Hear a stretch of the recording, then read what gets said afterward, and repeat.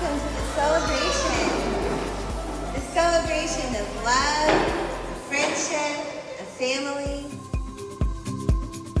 And here you are, about to take this next step, becoming one, facing a new future together.